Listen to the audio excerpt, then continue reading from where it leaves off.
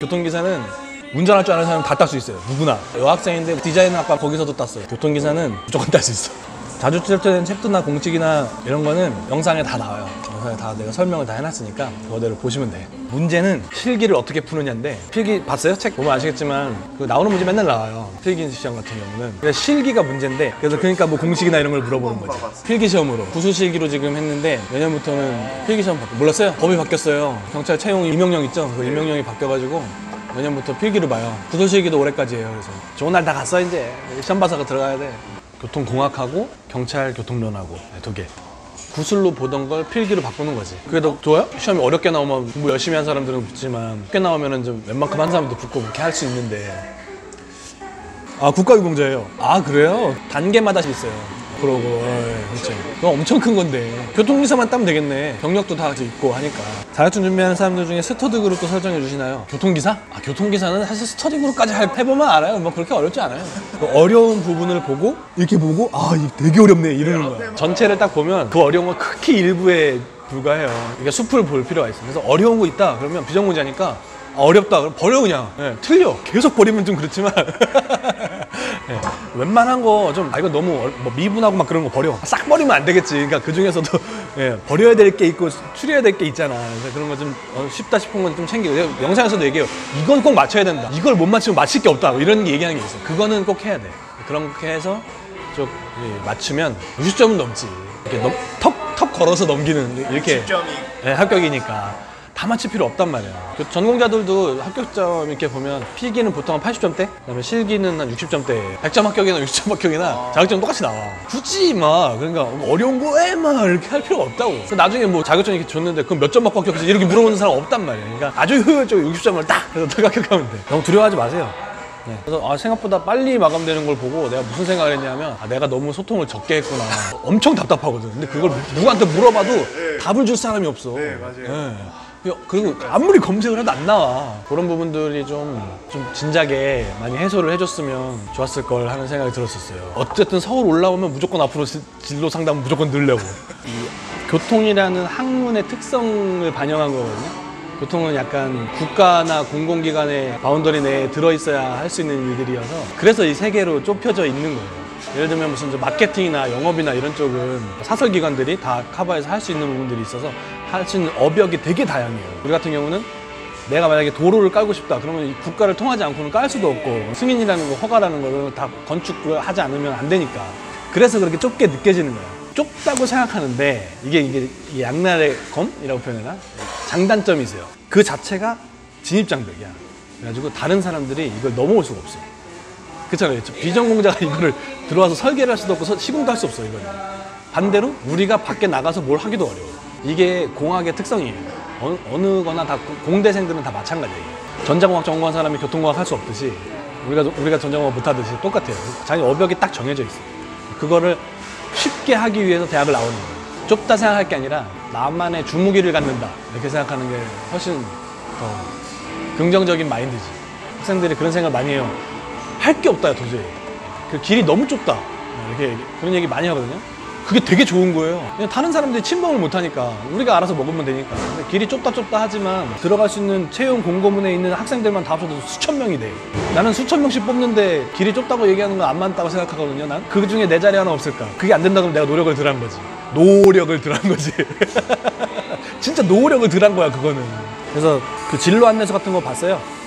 네, 그거 보면은 내가 말한 그 세 가지 업역이 아마 써 있을 거예요. 그거 그 중에서 하나 고르면 내 자리는 충분히 있고, 그다음에 그거 외에 뭐할 수 있는 게 있는가. 드물어 진짜 세 가지 내에서 선택해도 폭이 엄청 넓은 거예요. 정규직과 무기계약직은 하늘과 땅 차이죠 지금. 무기계약직은 자를 수 없어서 어쩔 수 없이 되고 있는 거고, 정규직은 이제 진짜 직원이고 대우가 자체가 달라요. 물론 뭐 경력을 쌓기 위해서 한다 그러면 뭐 그건 괜찮지만 내가 갈 길 엔지니어링이나 이렇게 한정 짓지 마요. 왜냐하면 분류가 다를 뿐이지 하는 일은 다 똑같아. 물론 엔지니어링이 되게 반복적이고 어려운 일들은 많고 대신 돈을 많이 주고 이- 위로 올라가면 올라갈수록 다양한 일들을 하는데 업무 난이도는 좀 낮고 왜냐하면 다 발주처니까 일, 일 보내는 것만 할 줄 알면 되고 감독만 하면 되니까. 근데 이제 이두 발주처들이 엔지니어링 출신들을 좋아하지. 왜냐하면 발주를 하고 감독을 하려면 그게 뭔지를 알아야 되거든. 네, 근데 그거를 시- 신입이 그거 가서 한- 하기는 쉽지 않거든요. 신- 만약에 신입으로 뽑혀서 들어갔다 하더라도 발주 업무는 안 주지. 그래서 처음부터 엔지니어링을 가서 한 1, 2년 정도 공- 일을 배우는 거는 좋은 생각이에요. 그리고 이제 공사공단이나 공기업이나 공무원으로 넘어가는 게 제가 봤을 때 순서적으로 좋아요. 엔지니어링 경력을 갖고 있는 거는 좋은 것 같고요. 할 수 있으면은 대학원을 가는 것도 나쁘지 않아요. 사람들은 대학원에 대해서 거부감을 갖고 있어요. 인생에서 뭐 2년 반을 썩는 거 아니냐. 뭐 대학원 테크를 타기 시작하면 다시 회사로 돌아갈 수 없다. 네, 편하니까. 좀 덕후도 아니고 맨날 거 앉아가지고 거기서 그러, 그러고 싶지 않다. 그런 학생들이 굉장히 많거든요. 아, 근데 그거는 좀 생각을 많이 더 해볼 필요가 있어요. 왜냐면 세상은 되게 넓고 앞으로 살아가야 될 날이 정말 길어요. 25세야 지금. 근데 앞으로 회원님 은퇴할 때쯤 되면 아무리 못해도 정년 65세는 될 거라고. 아무리 못해도. 만약에 내년에 당장 취업을 해서 만약에 직장 생활을 한다 그러면 40년을 직장 생활을 해요. 근데 40년 동안 학사 졸업생으로 살 수 있을 것 같아요? 언젠가는 학위라는 걸 따게 돼요. 언젠가는. 그리고 부장 달고 이- 임원 이사까지 돼야 되는데 박사학위도 없이 할 수 있을 것 같아요? 못해. 기술사 없이 할 수 있을 것 같아요? 못한다고. 그런 것들을 뒤로 미루지 말라는 얘기지. 그런 것들을 30세 이전에 끝내. 다. 5년이면 할 수 있을 거 아니에요. 5년 동안 박사학위 못 딸 수도 있겠다. 근데 최대한 최대한 앞으로 당겨가지고 해놓으라고. 석박사 통합으로 들어가면 5년이면 나오잖아요. 그러면 30살이면 박사가 돼서 나온단 말이야. 박사 학위를 가지고 세상을 사는 거. 박사 학위를 가지고 35년 동안 세상을 사는 거하고 학사 학위를 가지고 40년 동안 사는 거하고 어떤 삶이 나을 것 같아요? 그거는 뭐 물어보나 마나지. 집안이 어려워서 뭐 먼저 돈을 벌어야 됩니다. 그런 경우라면 뭐 어쩔 수 없겠어 근데 그런 게 아니고 그냥 의지를 가지고 있다면 나는 나도 집안 되게 어려웠어요. 나라고 뭐 집안이 뭐 여유로워서 뭐 그런 거 아니었어. 나는 회사를 이제 먼저 들어갔잖아요. 근데 그, 그 똑같은 그 경로를 밟지 말라고 얘기해 준 거예요. 회사를 다니면서 무슨 생각이 들었냐면 사람들이 내 말을 안 들어.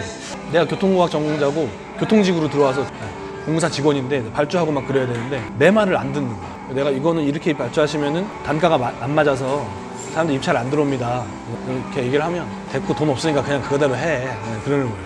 그러니까 씨알이 안 먹히는 거예요. 근데 박사를 받고 이제 내가 얘기를 하면 얘기를 하기 전에 나한테 먼저 물어보지. 이렇게 하는 게 맞습니까? 이렇게 물어보지. 입장이 완전 달라지게 돼요. 그런 직장도 안 다니겠지만 아무튼 할 수 있으면 젊으니까 박사과정까지 하는 게 좋아요.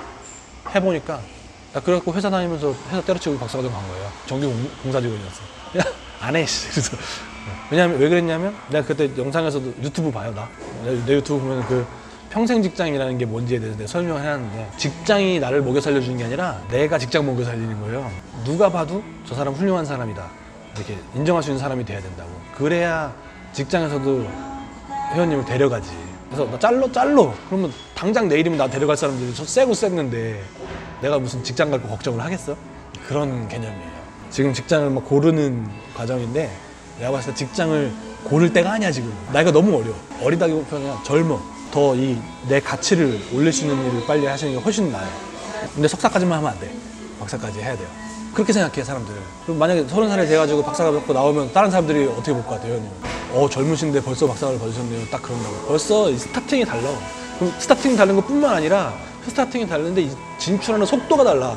얘는 40년 걸려서 이게 올라가지만 쫙 나간다고. 얘는 평생 걸려도 가보지 못할 곳을 가볼 수 있단 말이야. 이 박사학위 가진 사람. 진로 상담 왔는데 갑자기 진학 상담이 돼가지고. 근데 나이가 나이가 젊다는 거는 진짜 엄청나게 큰 기회예요.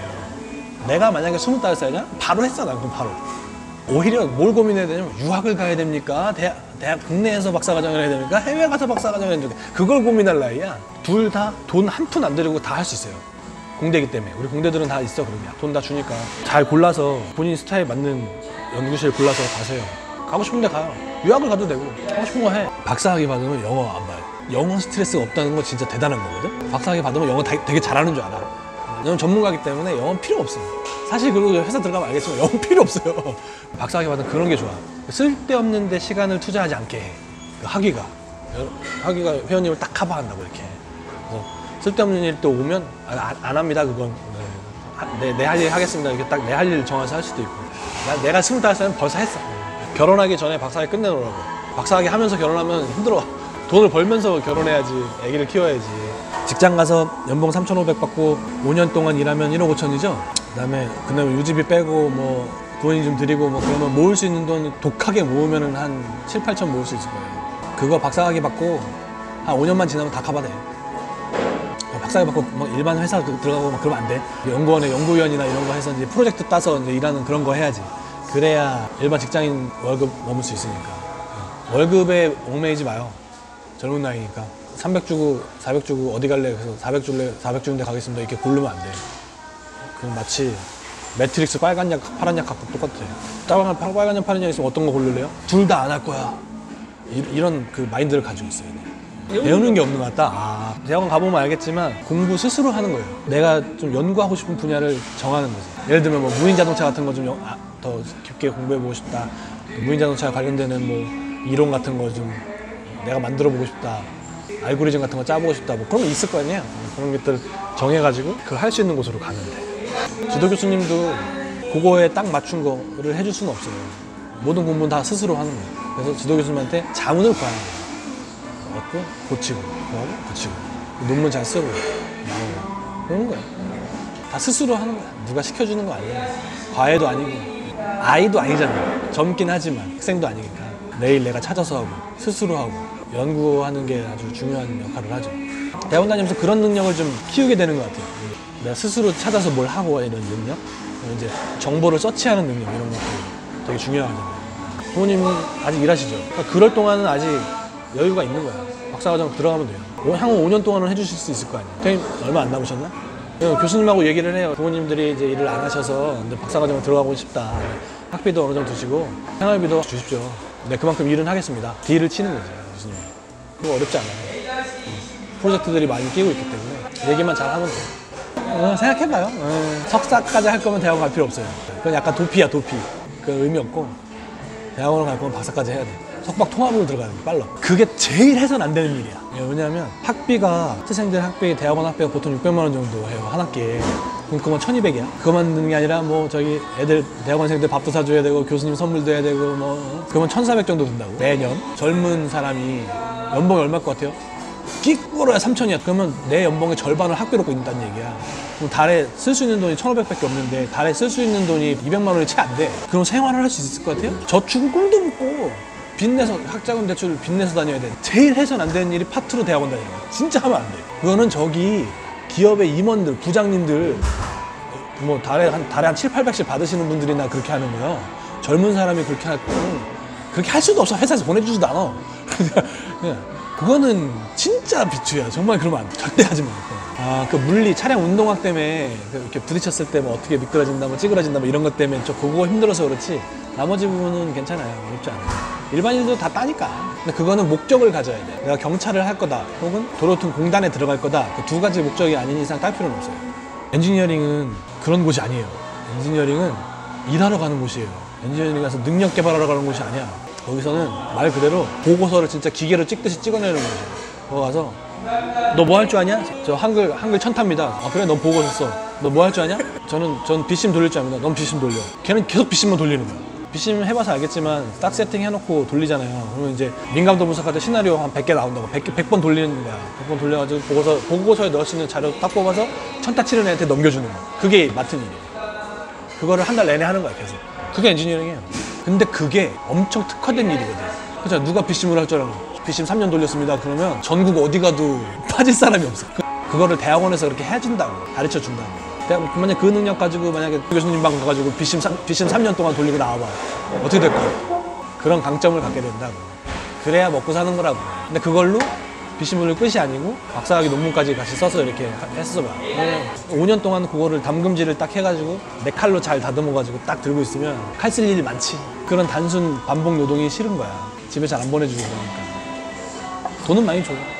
시간 되게 빨리 가죠. 30분이 넘었어요. 네, 여기 앉아 계신 분이 늘 그래요. 반갑습니다. 네, 네, 반갑습니다. 네, 양정입니다. 네. 3학년 지금 이제 2학기 되는 거죠? 어, 일단은 포커스를 대학 다니면서 해야 될 거, 그 다음에 대학 나와서 해야 될 거, 이렇게 나눠서 생각을 해보면 대학 다니면서 해야 될 것들 중에 제일 중요한 건 기사 자격증 따는 거예요. 보통 도시계획 기사를 따는 거예요. 도시계획 기사를 취득을 하면 취업을 할 수 있는 기본적인 소양은 갖춰지게 돼요. 대학 다니면서 그거, 그거, 그거 하나만 해도 충분해. 예, 쉽지 않으니까. 그 다음에 대학 나와서 혹은 4학년 2학기쯤에 회사를 정해서 가시면 돼요. 네.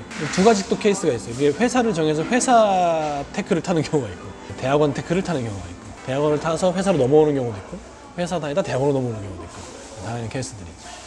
그래서 이제 공부라든지 그런 게 이제 성격에 맞는다. 그러면 대학원을 가시면 되고 그다음에 당장 회사 가서 돈을 벌어야겠다. 그럼 좀 회사를 가시면 되고 회사도 이제 공무원이 있고 공기업이 있고 일반 일반 사기업이 있고 이세 가지 종류가 있는데 특히 도시 같은 경우는 세 가지 업역이 명확하게 갈려 있죠. 공무원 그 도시계획직 공무원 LH를 비롯한 공- 공단 공사공단들 아, 엔지니어링 설계사들 세 가지인데 도시 같은 경우는 공사도 꽤 규모가 커요. LH 같은 경우는 엄청 크지. 전국적으로 또 다 있고 또 LX까지 다 요즘은 갈 수 있어서 도시계획직들이 그래서 국토조사직이라고 그러죠. 갈 수 있어서 그만큼 넓어요 도시에서. 대신에 이제? 넓은 대신에 지원하는 사람도 많아. 도시공학과 나온 애들이 많으니까. 그래서 그거를 도시공학과 애들을 제낄 능력이 있어야 돼. 교통학과 나와서 도시공학과 쪽 일하기가 쉽지는 않아. 수업도 이제 도시 쪽을 들을 거냐, 교통 쪽 들을 거냐, 네, 고르 이제 막 그럴 거야. 예. 그래서 그렇게 생각하고 준비를 하면 되고, 저는 개인적으로 돈을 버는 것보다는 대학원이 낫다고 생각하고, 뭐 내가 박사 출신이라 그런지 모르겠는데, 박사를 받고 생활을 해보니까, 박사를 받고 사는 게 훨씬 좋아요.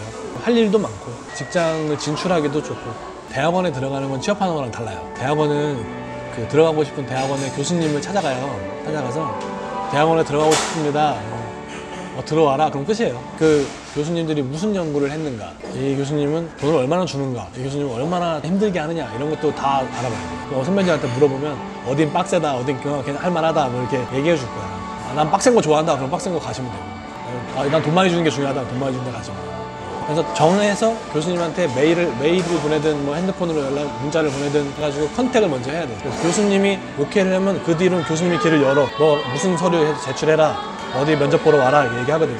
대학원은 직장 들어가는 건 달라요. 그 사람의 제자가 되는 거기 때문에 무슨 토익 보고 이러지 않아. 교수님을 컨택하는 게 중요해. 누구를 할 건지만 정하면 돼. 이제 회사 들어가는 게 이제 어려운 건데 만약에 대학원을 나왔다. 그러면 교수님이 다 알아서 넣어줘요. 교수님한테 얘기를 하지. 교수님 저 이번에 석사 학위를 받고 대학원 이제 그만하고 회사를 가고 싶습니다. 어디 가고 싶은데 엔지니어링 어디 가고 싶습니다. 어, 네, 전화해줄게. 그다음에 이제 공사공단이나 공기업이 좀 그게 클리어하기 때문에 저는 공채를 통해서 들어가는 수밖에 없지. 그건 이제 토익도 만들어야 되고 해야 되고 그런 게 있죠. 근데 그건 말 그대로 서류로 실력 싸움이라서 그거는 뭐 백스서 될 수 있는 일이 아니고 일단은 아까도 얘기했듯이 레이스를 먼저 정해야 돼. 내가 도시 분야에 뭘 하겠다. 국토 및 지역 계획을 하겠다. 뭐, 뭐 단지 계획을 하겠다. 뭐 그걸 정해야 돼. 내 스타일에 맞는 게 뭔지를 정해야 돼. 그러면 그거 하시는 교수님이 있다고. 그거 하시는 교수님이 하시는 논문을 읽으면 돼. 그러면 이 포커스를 많이 줄일 수 있어. 나만의 주무기를 갖고 싶다. 예. 도시계획 같은 경- 경우도 그 그런 skill을 가지려면은 엔지니어링이 무조건 있어야 되고 엔지니어링 있으면서 다양한 일들을 다뤄봐야 돼. 뭐 프로그램도 돌려보고 설계도 해보고 캐드도 쓸 줄 알아야 되고 뭐 다양한 skill들이 있죠. 그거를 익히면 돼요. 그 대학 다니면서 그걸 익히기 쉽지 않지. 그래서 이제 보통 그래서 대학원 다니면서 프로그램도 쓰고 또 프로젝트도 참여해보고. 그렇지. 내 무기를 갈고 닦는 거야 그게. 그래서 그렇게 대학원 2년 동안 나와서 딱 취업 전선에 나온 사람하고 학부생에서 학- 성적 잡아서 취업 전선에 나온 사람하고 비교가 되겠냐고. 엔지니어링 사장 입장에서 봐봐요. 얘는 프로그램 같은 것도 잘 쓸 줄 알고 보고서도 잘 만들어. 얘는 이제 이제 막 학부 나와가지고 얘는 그걸 또 가르쳐서 써야 돼. 그러면 교수님이 전화해주지 않는 이상 얘는 별로 쓰고 싶지 않지. 같은 돈을 줘야 되는데 돈을 좀 더 주더라도 얘가 낫지. 그런 거예요. 이게. 더 나은 나를 만들고 싶어 해. 그래서 내 대학의 네임밸류보다 더 좋은 대학을 가고 싶어 하고 그런다고 그런 생각을 가지고 있어요. 결론부터 얘기하면 국내에서 대학원을 옮기는 거는 큰 의미는 없어요. 취업하면 하는 일은 교평하는 거죠. 예, 교, 교통영향 평가 처음부터 이제 현장 실수, 현장 실사 나가서 조사 다 하고 교통량 조사 다 나와가지고 그거 BCM이나 MEC를 돌려갖고 수업 뽑고 BCM 돌려서 분석하고 뭐 신호 쪽이면은 이제 그때 T7F나 KHCS 다 써가지고 하고 그 데이터 가지고 보고서 쓰고 교평 통과하고 하는 게 이제 엔지니어링 하는 일이죠. 지금 얘기하는 그 프로세스 쫙 있잖아요. 그 중에 이제 한 분야를 맡게 돼요. 입사 얘기하면 꼭 제가 그 꼭 두 가지 케이스를 얘기를 하는데 회사를 들어가는 방법이 있고 대학원을 들어가는 방법이 있어요. 근데 둘 다 아마 고민해봤겠지만 저는 개인적으로 20대면은 대학원을 추천합니다. 왜냐면 생각보다 박사과정까지 가는 시간이 그렇게 길지 않아요. 한 5년, 6년이면 하기 때문에. 왜냐면 나는 대학원을 갈 거면 박사까지 하는 게 맞다고 생각해요. 석사까지 하고 갈 거면 안 가는 게 거예요. 할 수도 있고 저처럼 자기 업역을 만들어서 내 일 할 수도 있고 학교에 남을 수도 있고 다양한 케이스들이죠. 네. 그러면 이렇게 해봐요. 한번 교수님이랑 deal을 해. 제가 연봉이 한 250 정도 필요합니다. 교수님이 이거 주실 수 있으면 제가 대학원을 들어가겠습니다. 네, 그게 된다 그러면 대학원 가서 학위 받으면서 skill up을 하면 되고 그렇게까지는 못 준다 그러면 이제 바로 엔지니어로 가시면 돼요. 왜냐면 이게 사람마다 자기의 생활이라는 게 있기 때문에 제가 뭐 이게 무조건 맞다 이렇게 얘기하기는 어려워요. 그렇지만 생활을 해야 되는 상황이고 가정을 책임져야 되는 상황이라면 그런 딜을 할 필요가 있어요. 왜냐면 대학원 같은 데가 돈을 많이 안 주잖아요. 그런 거에 대해서는 직접 말, 말을 해야 돼요. 그런 걸 클리어하게 얘기하지 않고 들어가면 나중에 흐지부지 되니까 엔지니어링에서 지금 얼마 준다고 하는데 교수님이 저를 써주실 수 있습니까? 얘기를 하시고 그게 된다 그러면 근데 되는데 그보다 좀 모자라다 그러면 생각을 해봐야겠지. 그런 것 따지 따져서 가지고 하면 좋을 것 같아요. 그 대학원도 옵션을 하나 넣고 그걸 커버할 수 있는 점지만 물어보면 되니까. 두 개죠. 이게 ME하고 BCM 두 개인데 MSA가 훨씬 사용도는 높아요. 수요 추정 프로그램 E EMME-3 요거를 할 줄 알면요 굶어 죽을 일이 없습니다. ME도 할 줄 알고 BCM도 할 줄 안다 그러면 혼자 회사 차려도 돼요. 수요를 알아야 설계를 할 거 아니야. 그 다음에 BCM은 그거 가지고 LOS 얼마 나 오는지 뽑아봐야 되니까 T7F랑 같이 연결해서 하, 하게 되죠. 둘 다 하는 사람 드물어요. 석사 나와도 둘 다 하는 사람 드물어요. 그냥 쉽게 할 수 있다. 어, BCM 제일 쉽죠 이게. 활용도도 높고 MS3는 쉽게 하기 어려워요. 키가 유료 키여야 돼서 꽂아야 쓸 수 있어요. 학교에서 그거 3천만 원짜리 키를 가지고 있는 이게 내가 만무하니까. PCM은 아마 PCM도 키가 있는데 예, 아마 학교가 가지고 있을 거예요. 싸니까 이거 엔- 아카데믹 버전으로 천만 원 정도면 하니까 회사 학- 학교 돈으로 예, 대학원 연구실이 가지고 있을 거예요. VISSIM 같은 거 과정이 있어요. 그 PTV 코리아라고 거기 VISSIM 강의하는 코스가 있어요. 거기서 그걸 또 따로 배워도 돼요. 돈이 들어 근데. 아무튼 그거는 뭐 그때그때 값이 다르니까 메모해놨다가 한번 PTV 코리아 VISSIM VISUM 뭐 이런 거 다 맞췄어요. 돈 많이 주고 빡센 게 좋으냐, 돈 적게 주고 널널한 게 좋으냐, 그 레이스를 정해야 돼요. 어떤 게 좋아요? 한가한 게 좋다. 네. 저녁 있는 삶이 좋다. 다 되게 다양해요. VISSIM에서도 뭐 기초 과정이 있고, 무슨 뭐 심화 과정이 있고, 뭐 VISUM에서도 뭐 expert 과정이 있고, 막 다 되게 다양해요. 뭐 없지. 예. 학부생이 아직 학생이니까 없을 수밖에 없어요. 제가 추천하는 거는 이런 거를 학부생 때 잘 할 수 있었으면 좋고, 그다음에 대학원 가서 배워도 되고, 그러니까 대학원을 가라는 얘기가 아니라 연구실에 가서 가르쳐 달라 그러세요. 학부 연구생 같은 것도 써요 요즘에. 그런 걸 하면 그거에 그 이런 걸 가르쳐 주는 연구실에 가서 배우면 돼요. 돈 받으면서. 하면서 그것도 그 그럼 당연히 교수님하고 연- 인맥이 생길 거 아니에요. 그한 6개월 정도 하고 잘 배워놓고 교수님 제가 이거 잘 하는데 요거 그래서 회사 들어가고 싶습니다. 교수님 100% 대학원을 오지 그러냐 이럴 거야. 근데 지금 상황이 어려워서 교수님 그거 맞춰줄 수 있으면 하시고요. 아니면 응, 아니면 제가 회사를 가야 될 것 같아요. 뻔히 알 테니까 교수님도 회사를 가야 될 것 같습니다. 그러면 교수님 그럼 전화해줄게. 그래서 회사 엔지니어링 하- 해가지고 여기 비심 잘 쓰는 친구 있는데 한번 쓰시겠습니까? 이렇게 교수님이 연락해 줄 거예요. 그럼, 그럼 그렇게 들어가는 건 자소서가 필요 없어요. 네. 바로 바로 내일 와서 면접 보라고 하니까 그래서 면접 보고 코스웍 같은 거 한 거, 대학원 나온 거, 네, 뭐 자격증, 기사 자격증. 코스웍하고 대학원 나와서 기자 자격증 있으면은 면접에서 한 세네 명밖에 안 남을걸요? 그것도 마찬가지예요. 그 레이스를 정하기 나름이야. 내가 뭘 할 건지를 정하면 그게 고민할 게 아니야. 물론 그런 거 있겠지. 큰, 큰 종합 엔지니어링에서 교통부계획부에 있다가 교통계획부에서 인사발령을 내서 뭐 다른 사람 안 뽑고 여기를 갖다 쓰는 경우 그런 경우에는 도움이 될 수 있겠지. 왜냐면 도공이 그런 경우 많아요. 토목기사랑 교통기사 같이 있어서 도로부에 있다가 교통계획부로 갔다 막 이렇게 쓰는 경우 있는데 그거 외에 무슨 단종이나 무슨 엔지니어링 갔는데 교통계획부 들어갔는데 교통계획부가 도시계획부로 넘어갔다는 얘기는 거의 사람 새로 뽑지. 왜냐면 교통계획부가 놔주나 그 사람은. 저 이걸 이렇게 옮긴다 그러면은 엄청 뭐라 그러죠? 그 부서 부장님이 가만히 있겠어? 우리 부를 뭘로 알고 사람 빼가냐고 막 그럴 거 아니야. 그렇게 되는 경우도 드물어요. 자격증 수당 같은 것도 두 개 있다고 두 개 주지 않거든 쓰는 것만 주니까. 딱히 뭐 쌍기사 triple 기사는 사실 의미가 상관만 딱 정확하게 있습니다 차라리 교통기사가 있고 4년제에서 교통기술사가 있는 게 훨씬 낫지. 도시계획기사, 교통기사, 뭐 건축기사, 산업기사 이게 이게 중요한 게. 대학생들이 크게 또 잘못 생각하는 게 이 포커스가 흐려지는 거거든. 토익, 토플, speaking, 기사, 쌍기사, triple기사, 뭐 해외 어학연수 하, 그거 언제 다 해? 그 중에서 딱 쓰는 건 딱 교통기사 하나거든. 남은 다 부질없어요. 해외 연수 갔다 왔다 그러면 어, 갔다 왔구나. 그게 되는 거잖아. 그런 거죠. 그렇지. 그러면 아, 야, VISSIM 하는 사람이구나. 이렇게 딱 알죠. 우리 회사 VISSIM 필요한가? 뭐 이렇게 딱 따져보게 됐어요. 있으면 참 좋겠는데 여기서. VISSIM 안 쓰고 LOS 뽑을 수가 없잖아. 없잖아요. 교차로 교차로랑 그 신호 연동 같은 거 할 때도 VISSIM 안 쓰고 할 수가 있나? T7F 돌리고 그 자료 넣어서 돌려주잖아. 그러니까 신호 고칠 때도 마찬가지고 안 쓸 수가 없는데 네. 답을 좀 드린 것 같아요. 교통할지 도시할지 정확하게 정하시고 그 다음에 뭐 교통하기로 정했으면 대학원 갈지 취직할지 정하시고 취직할지 정했으면 공기업 갈지 엔지니어 갈지 정하시고 대학원 갈지 정했으면 엔지니어링 돈 맞춰줄 수 있는지 확인하시고 그러면 될 것 같은데요?